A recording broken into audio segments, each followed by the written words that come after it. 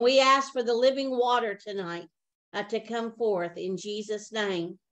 Lord, we are hungry and we're thirsty for you.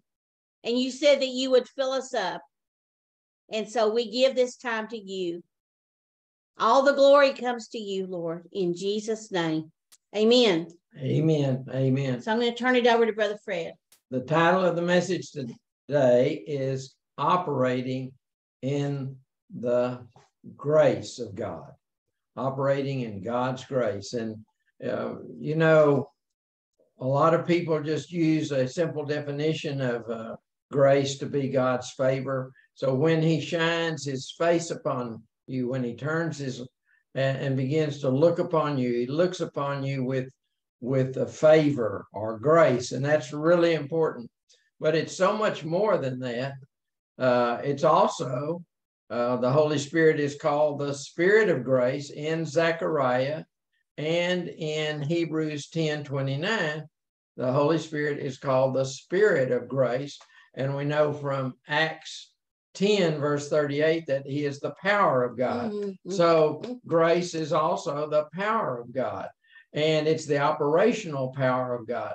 Now, I know that we all know about grace. And so I could easily say, well, we know about grace, so there's nothing to consider. We, we just know about grace. But it's important to remember and to remind ourselves of how important grace is and find out how we can activate it because it's mm-hmm. easy to live in this life and know about grace, but not activate grace. Right, oh, that's the truth. And so this message is about let's keep grace active in our life in every aspect of life. We could uh, know all about grace and not apply it in our marriage. We could know all about grace and not apply it with our relationships with our children uh, or with uh, other family members. We could know about grace but yet not apply it in our workplace. We mm. could know about grace and not apply it in the marketplace. And so uh, we, we need not only to know about grace, but know how to operate it, how to activate it. Um, I was talking with my daughter this uh, past weekend, um, our daughter Amy Elizabeth, and, and she was saying that she had been a nurse for 20 years and much of that time, she had been a nurse in the emergency room. And so that was a very high pressure position, always uh, uh, things to do and, and to uh, deal with uh, medical and health issues. And, and, uh, and she had grace for it for, for years. But then she said her grace ran out. And, it lifted and, off of her. and she had moved into another area. And, and the area she moved into was being a flight attendant.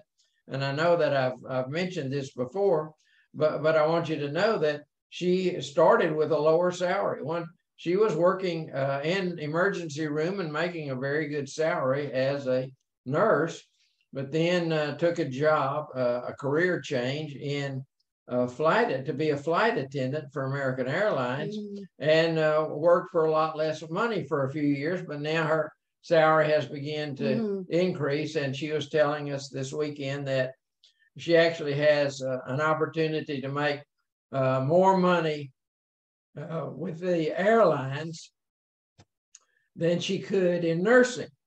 Uh, and, but but there was definitely a time uh, that we might have asked, well, why why make a, such a switch mm-hmm. and and uh, uh, such a reduction in salary? But but she was explaining it again this weekend, as she has before, that the grace ran out. Uh, to work at those 12 hour shifts in the emergency room, there's just a lot of pressure mm-hmm. to do mm-hmm. that. And she didn't have uh, grace to do it anymore. So the decision, uh, you know, as she was talking about, was about grace. And I, and, and it caused me to wonder, well, are we operating in grace in every aspect of our life? Because if you get out of grace, mm-hmm. uh, if you get out of grace, then you're doing it in your own, own work, strength, in your own strength, your own intellect, and you don't have the supernatural power of the Holy Spirit operating in your life. And so that's what we're going to be looking at then. How can yeah. we get that uh, supernatural power operating in every area of our life, Sherry. You know, I just uh that that word supernatural is it takes you beyond what you could do yourself. And and when he said supernatural, that's what that's what grace is. It's that supernatural power of God uh, that helps us go beyond ourselves and do more for the kingdom, uh, to live a better life, and to be productive uh, in what we do. See, I like to look at grace as grace begins when our ability ends. So beyond our ability, that we do all of this up to this point, but beyond that, we've got mm-hmm. more to do. And so we need grace to kick in. So mm-hmm. grace uh, operates beyond our own ability. And so it begins where our ability ends. We lay it down and say, mm. well, we cannot do it. We're going to depend on God. And we need to do it in every aspect of our life. That's in right. our marriage, That's right. With our family, with our, uh, on our job, our career, and uh, maybe even changing careers. And one thing about grace, it's God's ability to do his will. Uh, it's it's not uh, his ability to do just any kind of thing that we wish for, but it's uh, so we have to find out where our uh, purpose is uh, that God has for us. So it's his ability to do his will, his power operating in us and through us by the Holy Spirit to do uh, his will. And so for us to activate the grace of God in our life in any area of life, we have to be following the Holy Spirit. Uh, mm-hmm. Uh, it's about where is the Spirit leading, and so on the job. Uh, what what do we need to do? So as we go on the job each day, we need to be seeking the Holy Spirit. I, I, think about a woman who whose uh, the boss came in uh, on on Monday and gave her this big assignment and said, "Well, work on this. Don't work on anything else. Uh, this is the most important thing." And uh, and but the Holy Spirit said, "Don't work on that. Work on these other things. These are the important things." And, and so every day she'd want to work on the thing the boss gave her on Monday, and then on Friday. But the Holy Spirit kept guiding her mm-hmm. in a different direction every day, and and she she accomplished a lot that week. And on Friday, the boss came to her and said, "Well, uh, the client we had for that project uh, has changed uh, her mind, and she doesn't want that project. So what I told you on Monday, uh, no longer." Is there a need for us to yeah, do that? It's not and even important. It, it, we, we, there's no reason to do it. And so, if she had relied on what the boss told her and not what the Holy Spirit told her inside, work on these other projects. These are important. These are the things that you need to get out this week. And that's the way we need to be mm-hmm. operating. Uh, uh, there's pressures. See, there's always pressures. People have a lot of demands, put demands on you and say, you need to be doing this, you need to be doing that. And there's not enough hours in the day to do everything that people want you to do. But you have to find out what is important by the Holy Spirit. Amen. That's where you have grace. See, if if you're not following the Holy Spirit, you're not operating in grace. But if you can operate in grace, you do that by following the Holy Spirit. So there's some points I want to make. There's really uh, four basic points I want to make tonight.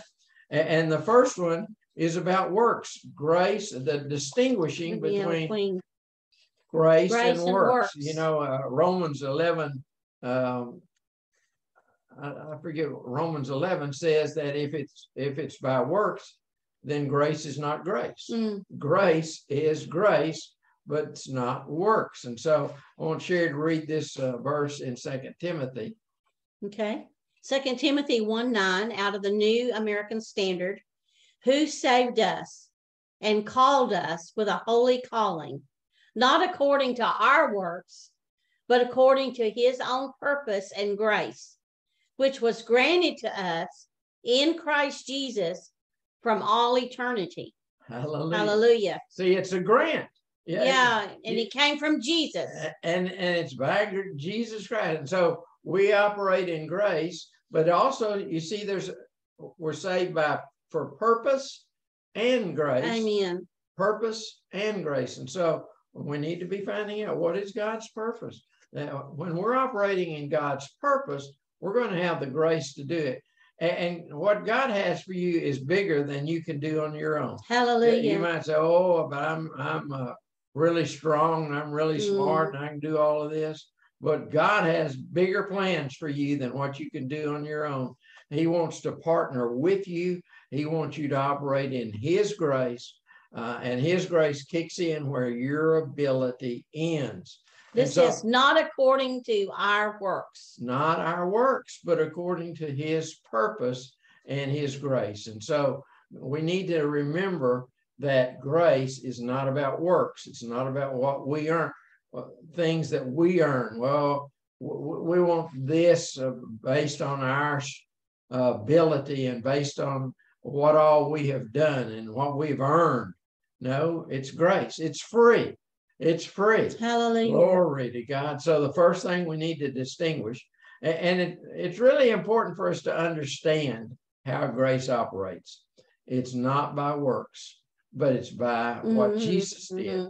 It says mm-hmm. in, in, Ephesians 2, verse 8, we are saved by, by grace, grace, through faith. Mm-hmm. Saved by grace through faith. So if it's going to be by grace, it's got to have faith attached to it. And so you can say, I know all about grace, but are you applying faith to it? Are you applying faith in your workplace? Mm-hmm. Are you applying faith in your family mm-hmm. situation? I say you've got to put that faith with grace in order for it to operate. So the first thing we need to distinguish that grace is different than works. We need to distinguish the difference between grace and works.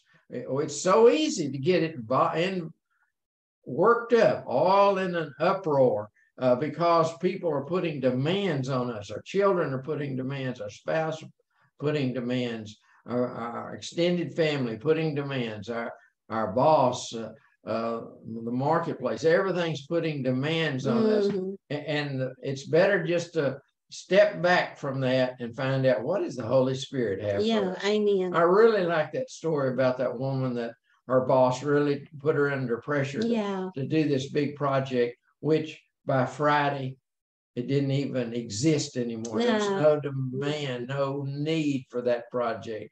And if she had uh, spent all of that week working on a project that was going to uh, go away, then she would have wasted her time and she'd still have all these other projects to accomplish. But no, mm-hmm. she was effective that week because she worked on what the Holy Spirit told her and what not what man was telling her to do. And then that's when the grace came. That's when the grace came to her. Okay. The second thing we need to distinguish uh, between grace and the law uh, because grace is different than the law. Amen. The, see, uh, under the Old Testament, there was only the law. Uh, but under the New Testament, it's Jesus Christ and grace is the grace that he provides. So I want you to read this verse in John 1 17. Okay, also it's out of the New American Standard. John 1 17. For the law was given through Moses, grace and truth were realized through Jesus Christ. Okay. Grace and truth. Hallelujah. They came by Jesus Christ. So under the Old Testament in the book of Leviticus, we see what the law is. We see all of the commandments mm-hmm. of the mm-hmm. law. And and so sometimes we want to get involved in keeping commandments and keeping laws. And uh, the thing about the law, you have to com- keep all of the law. You cannot keep 90% of the law and be righteous. Mm, See, there mm, is a mm. righteousness that comes through keeping the commandments and keeping the requirements of the law. But everybody has sinned. And the only person who kept the law was Jesus Christ. Amen. Only he could do it. So it was a it was a righteous law and it really, the purpose of the law was not to make us righteous, not you and me to be righteous by the law, but the law was to show us where our sin was. Mm. Because everybody has sinned and come short of the glory of God. And, and so the law is just to show us what we can't do, where we're, we'd be sinful, and where we need Jesus Christ. But grace and truth come by Jesus Christ. So we need to Mhm. distinguish then the difference between grace and the law. And we couldn't keep the law. And, and we might think, well, I can keep these uh, commandments, I can keep these, and I can be true to these commandments, but and these requirements. But if you keep 99% of the law and not 100%, then it's like you have broken the Mhm, whole The law. whole law. So it's not anything that we can do on our own, keeping the law. We have to turn to grace, and it's by grace through faith. And so we have to put our uh, faith to it. And that's the reason a lot of people know about grace, but they don't operate in it uh, because they think that they're okay because they're doing these good things. They're doing the things that that a, a good law uh, abiding uh, person would do. They're doing those good things, but it's not by the law. We have to remember it's It's by, grace, grace, through, through faith. faith. So we need to distinguish then uh, that it's it's not by grace. I mean, not by the law, but it's by grace. Now, the third thing to distinguish. See, uh, this is the third thing. The first thing was distinguish between, between grace and works. works, then grace and law. Now we're going to distinguish between uh, grace and judgment, uh, justice. Uh, justice, see, God is a just God. Amen. Amen. And, and one of the things I've been thinking about this week is that I've heard so many people say that uh, if God is a loving God, he will not send me to hell uh, where the devil is. Mhm. And, and so that's what they think. There are Mhm. so many people that get on this idea that God, if God is a loving God, he will not send a, a pretty good person to hell to be with the devil. But see, you don't know this. If you're thinking in those terms, you don't know that he's a just God. Amen. Oh, because that that would throw them. And, and you'll encounter some people that think like that Mhm. and they think, well, God is not going to punish me. But you know, Exodus 34 7 says God is merciful, He's compassionate, he, He's faithful, but He does not leave the guilty unpunished. Uh, so that you've got that little Mhm. you got that little warning at the end. It begins with, oh, God is merciful. God is compassionate. God is faithful. God, you know, God is wonderful. But then you put in this little warm, warning at the end, but God does not leave the guilty unpunished. And so many people think that God will not punish their sin because he's a loving God. But see, let's don't get that confused. Let's don't get him being a loving God confused and forget that he is a judge, Yeah. that he uh, is going to operate in justice and he will not leave the guilty unpunished. So there's a lot of people that are deceived. They have deceived themselves. And, I know a lot of people have said this, and, even around me, Yeah, they've said it that, oh, if he's a loving God, he'll not send me to Mhm. hell. But there were sinners, and, and the guilty will not be unpunished. Ooh. And so I want to look at this verse that I've asked Sherry to read. It comes from the Amplified um, translation. It's in Isaiah 45, verse 21. There is no other God besides me, a consistently and uncompromisingly just and righteous God and a Savior. There is none except me. Okay, so we have on the two hands. On the one hand, he's a just God, and that means he's going to judge. He's going to judge people according Right. to the- what they've done. On the other hand, he is a savior, and by the savior, he gives grace. And, and so Mm. both of these are out there. It's like a two-edged sword. Yeah. Uh, if you don't receive grace, you're going to be judged. And if you're a sinner, uh, and you don't receive grace, you will be judged. Oh. There, there's no alternative. It's it's either receiving Jesus Christ and His grace in every aspect of your life, uh, and so don't go along in in one aspect of your life. Well, when I go to uh, my church on Sunday, then I'm going to receive grace there. But Mhm. on the workplace, I'm not going to, or in the, my family Right. situation, I'm not going to receive grace. No, you need to operate by faith and ask the Lord for grace in every situation. Amen. So you'll have wisdom beyond your natural intellect. You'll have strength beyond your natural strength when you're asking for grace and being led by the Spirit, because the Spirit is the Spirit of grace and He's also the power of God. And so there's really three distinctions then now that I've talked about, and we need to remember and keep these things in mind.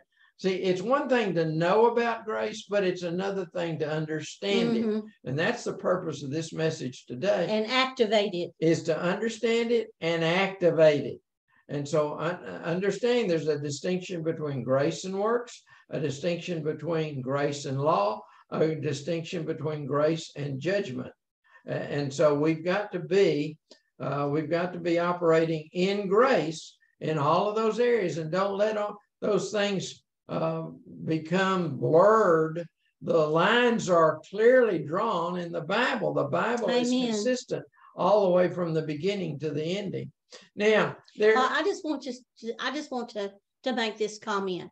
Remember when, when, when I gave our, the testimony, uh, when we went to Moravian Falls and the Lord showed me in, into heaven, he showed me what was going on. And that, that throne room is, is real. And the, the fire of God is real.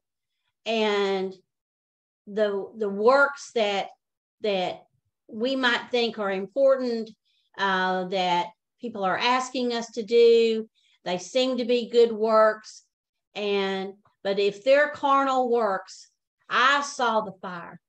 I saw it. I will never forget it that that fire is there and and it will be burned up in a in a twinkling of an eye. Uh, they would speak it out of their mouth and if it was not uh, the the works of God, eternal works, it was burned up, and and so it says that the wages of sin uh, is death, but we can operate in grace, and so this message tonight, I feel like is the the the topic area of grace. I told Brother Fred this earlier today is a very controversial um, topic area, and people have been taught many things that are that are not according to the truth. Okay. But it's important for us to understand it. This, this message is to help us remember, bring to our uh, pure thinking about the grace, how important it is, and so that we can do a test in our life. And am I operating in Mhm. test in my marriage? Am I operating in I'm by grace? Am I operating by grace in my marriage? Am I operating by grace in my relationships with my family? Am I operating by grace uh, in my uh, family life, in my home life? Am I operating by grace in my career? Am I operating by grace in the marketplace when I'm buying and selling things? And in the ministry, And activate it, activate grace. And we're going to be talking more about that in a moment. But the fourth point I want to make is that there's only one basis for grace, and that is the finished work of the cross Mm, only the finished work of the cross. Well, I'll ask Sherry to read a verse about it in a moment, Mm. but I just want to say, okay, let's think about the finished work of the cross. You know, there were some people that were forgiven for sin, mm, uh, even in the Old Testament. And, we know David, for example, sinned. mhm. Uh, and, a- well, in reality, everybody in the Old Testament sinned. Mm, that's right. But God forgave them. But the only basis, really, He had to forgive people was because Jesus went to the cross. Now, on the cross, we know this from Isaiah 53, he was wounded, Wounded for our, our transgressions. transgressions. He was bruised, Bruised for for our, our iniquities. iniquities.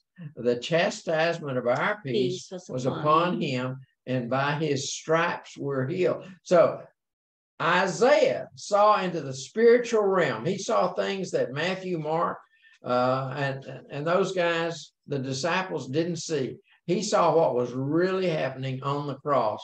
That Jesus, all of the sin was put on Jesus. Mm. All of the sin of mankind in all generations Mhm. was put on Jesus, and by His stripes we were healed. By His punishment we have peace. See, grace Amen. gives you peace. So you if you look at your life, if you're is your marriage, you have peace in your marriage. You have peace in your relationships with your children and with your parents and with your siblings. Do you have peace? If you don't, you- you're not operating in grace because grace will produce peace. See, there it was Mm, mm. that his punishment, what Jesus, uh, when he was punished on the cross, it brought us peace. And so, if you don't, if you don't have peace in an area of your life, if you don't have peace in your marriage, if you don't have peace in your uh, dealings with your family, if you don't have peace with your uh, in your job, if you don't have peace, this is a way to measure: Am I operating in grace? Mm. Uh, Are, are you do you have peace in the marketplace when you're buying things and selling? them? If you don't, you don't have grace because peace is the end result of grace. Mm, By babe. his punishment, we have peace. Amen. You see that? So you, that's the way you measure. Do I have grace?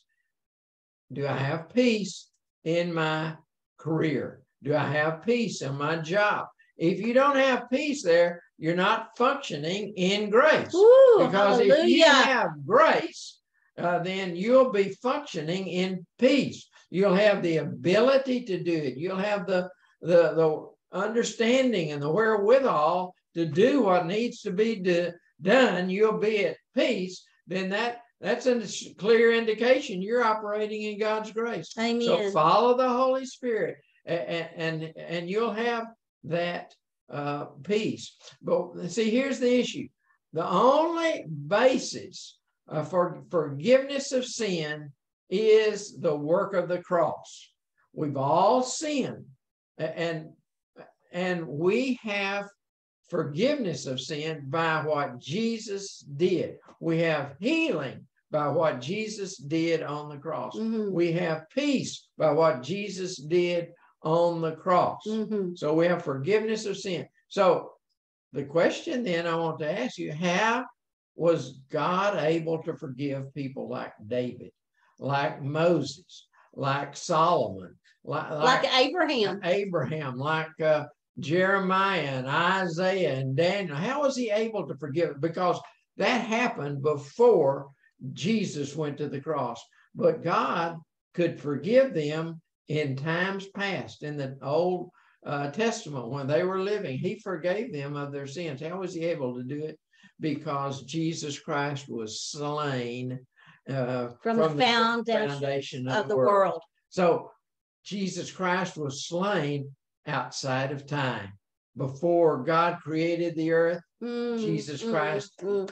has already slain. Good, it's good, Freddie. So then when we go along in time, Mm, see he was he was he was crucified outside of time. But then it did occur in time period about 2000 years ago, but God could forgive because he knew that Christ had been slain outside of time. And, and so he brought that in. He God could is not limited by time. He knew what had happened even before he created this universe that Jesus Christ was crucified. And then it happened in a point in time. mm, But he could forgive people even before he got to that because everything was pointing towards the cross. Throughout the Old Testament, everything was pointing towards the cross, and God knew, mm. and God knew that Christ was crucified, and he was crucified outside of time, but it happened in time. And- and Hallelujah. so he could forgive people in the Old Testament, He can forgive us today, not because of what we do. And so our pardon, our healing, our peace, Mhm. our, all of that comes from the work of That's the right. cross. And so I want uh, Sherry to read this verse then that shows us the only basis for forgiveness of sin is about the work of the cross. And the only basis for grace then is the work of the cross. So let's let's read this verse here. It's Romans 3, verses 23 and 24 out of the New American Standard.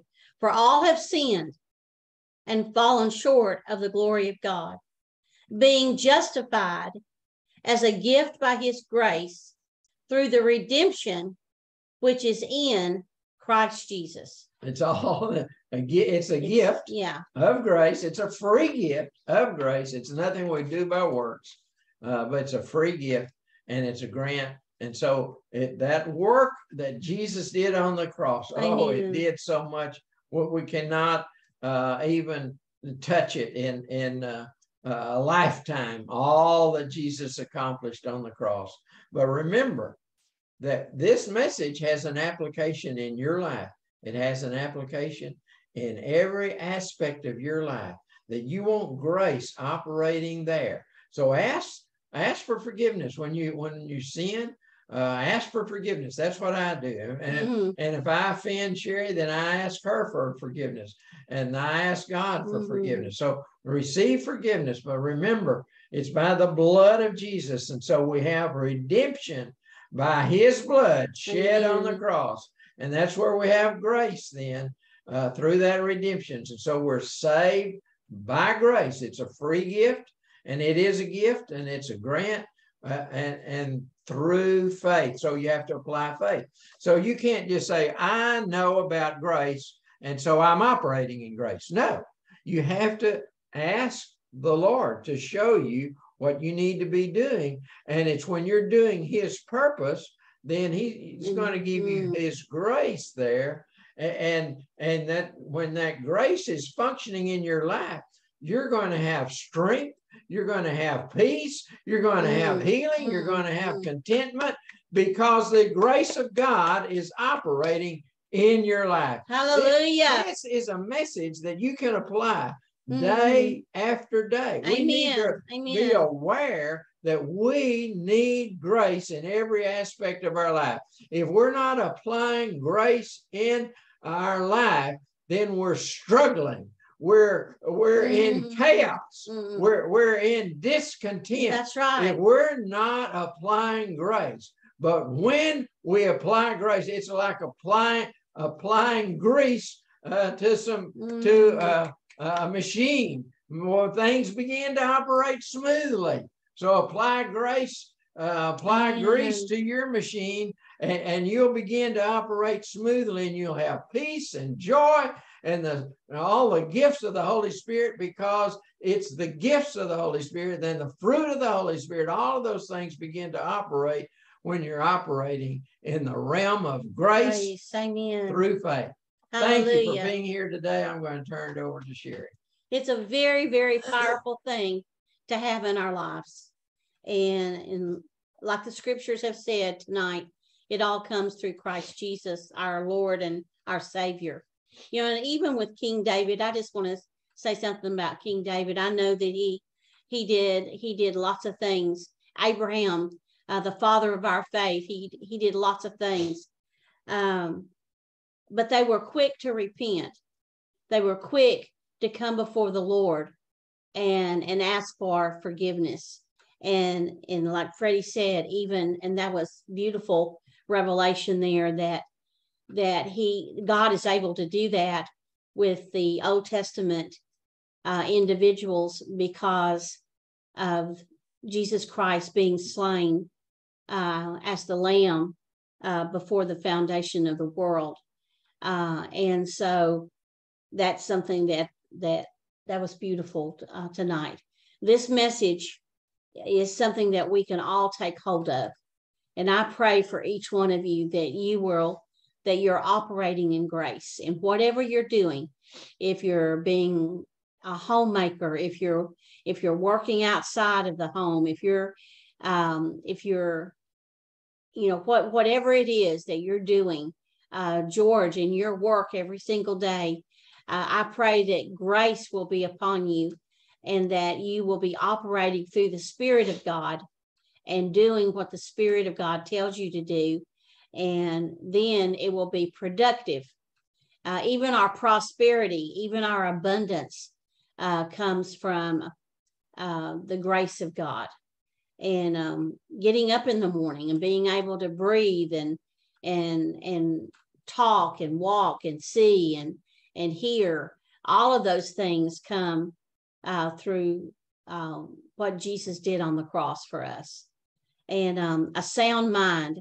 And now, you know, I speak a sound mind to all of us in Jesus' name that, that we have uh, a sound mind, that we operate um, without confusion and discouragement and, and um, frustration, discontent, I believe Freddie said, that we can operate in the grace of God and have that peace uh, that passes understanding you know and that's that's what we all that's what we need uh, each each and every day. Uh, we all have different things to to make decisions about and all different things that we're operating with and and um and our lives are somewhat different for each one of us but the grace of god is not different and the peace of god is not different. It's uh it's powerful and uh, and so we we want brother fred and i want to operate in grace. Amen, amen. amen. we want to to stay in the perfect will of the lord. And uh, and we want to have that peace come upon us and um, and not be frustrated or discontented or depressed or um, overwhelmed. Uh, you know that's what the enemy wants wants uh, for a person